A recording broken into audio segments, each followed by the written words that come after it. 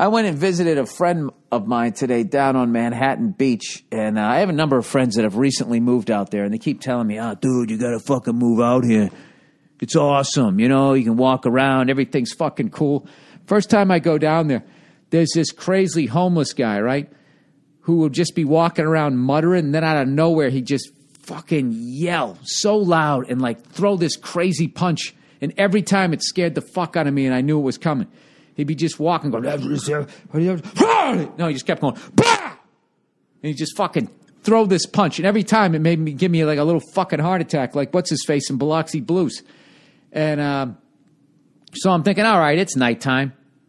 You know, the beach is just like, you know, it just tre- it just attracts so many fucking losers. You know, because their whole deal is like, even if I fuck up, I can still survive and live outside, curl up in the warm sand. You know what I mean?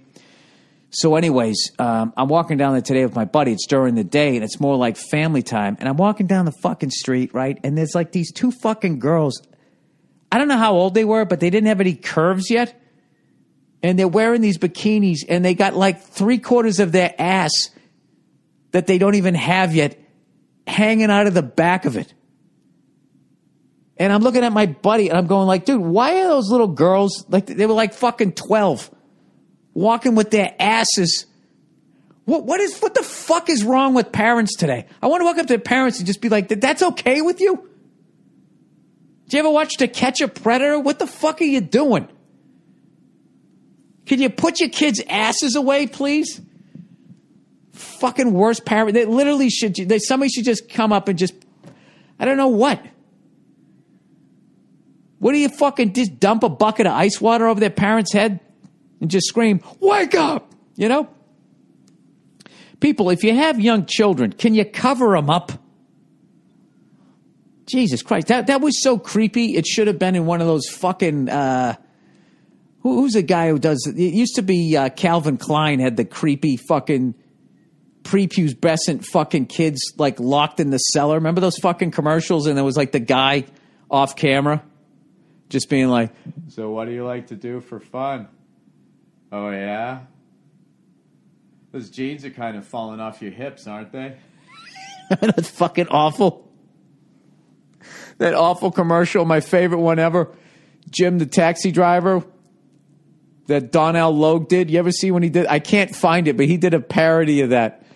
And he was sitting there with like his, his pants half pulled down, answering the questions of some creepy guy off. Oh, it's fucking hilarious.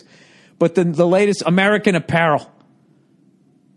You know that creepy fucking feeling you get if you're any sort of a human being when you look at an American Apparel ad? You know, I actually tweeted about it one time. You're like you're pulling up to it, and you know, old man, you're fucking pulling up with your bad eyes, going, "Jesus, look at the ass on that ah, ass." He's only twelve, right? That's the same thing. That's the same fucking feeling. Today, it's like, what the? Why? Who's the fucking creep that makes a ba- bathing suit for a little girl like that? You know? I don't know. Whoever it is, he he go he call, he goes by uncle. That's always a fucking that's always a dead giveaway. When somebody's in their 40s, they're not married, right? And they're still hanging out with people half their age and, he, and they go, "Oh, just call me fucking uncle whatever." That's when you immediately have to leave. And, and if there's any drink in the room, don't drink it. Right? My fucking nuts. That's, that's just what I believe. Parents, I mean, I, who am I? I don't have any fucking kids. I shouldn't say that. But for the love of God, you know, if, if your kid's like, you know, if you add your kid's age, it's like under five, you know, one plus two, three. You know what I'm saying? That probably the math. I shouldn't use a math equation. I'm too fucking dumb for that. I'm just saying. You know what the fuck I'm saying. And then it makes you feel like a fucking creep. It's like, would you get that uh, out of here, please? Horrific, horrific parenting.